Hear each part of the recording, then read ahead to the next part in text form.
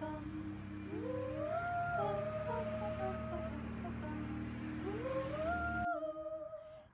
bread and butterflies kiss the tulips, and the sun is like a toy balloon.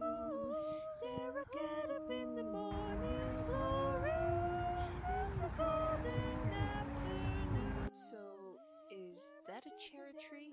I mean, I looked at the pink blossoms and I thought it could be, but my botanical knowledge is just so horrendous. I still have no clue. I got so close and it looked so spring shoujo anime opening. But, um, wonder what kind of tree it is. Cherry blossom? I'm going for cherry blossom.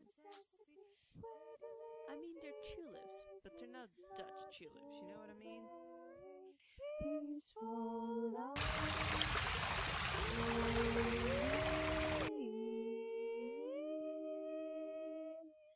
could learn a lot of things from the flowers, for especially in the month of June. Got another impossible shirt on today.